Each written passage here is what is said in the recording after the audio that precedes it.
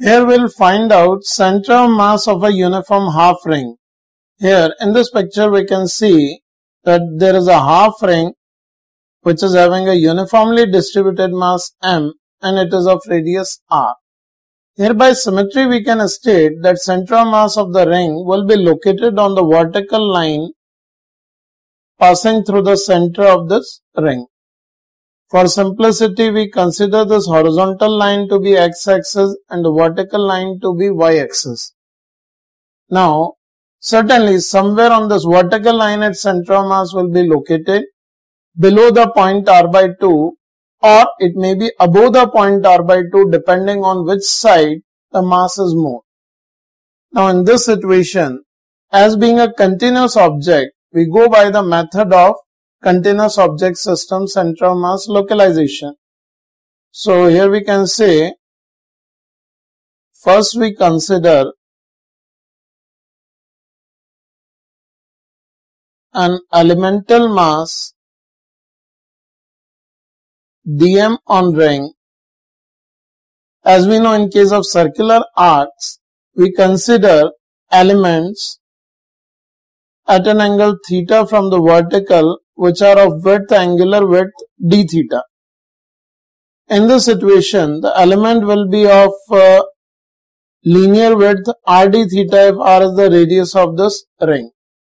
Now, as the whole mass m is distributed uniformly on the half ring which is subtending an angle pi at its center, for the elemental mass which is subtending an angle d theta at the center, its mass dm can be written as m upon pi into d theta. That is the mass of this element. Now, we can see that this element is located at a height r cos theta vertically above the x-axis or we can find y coordinate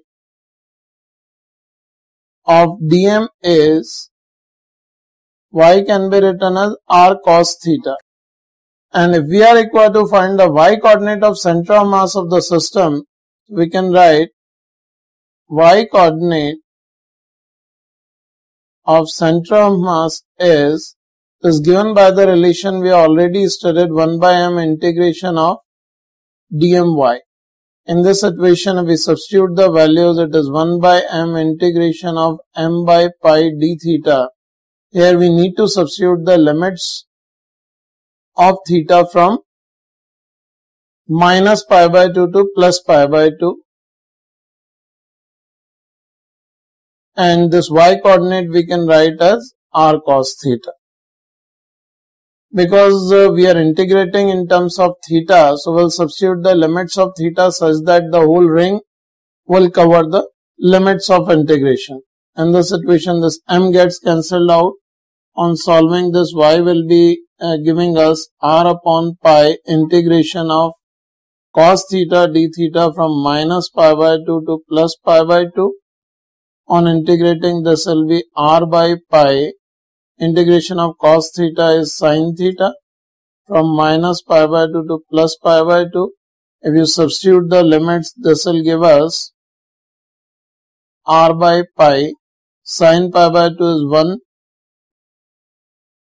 minus pi by 2 is minus 1 so it will be 1 plus 1 the result will be 2r by pi.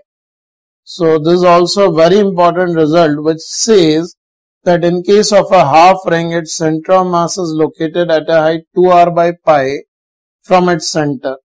So if this is the half ring if we just redraw the picture in this situation we can state if this ring is of radius r its center of mass is located at a height yc.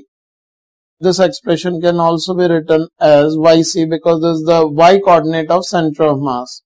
And this yc is equals to 2r by pi. So keep this result also on your tips and many of the problems you need to use this result.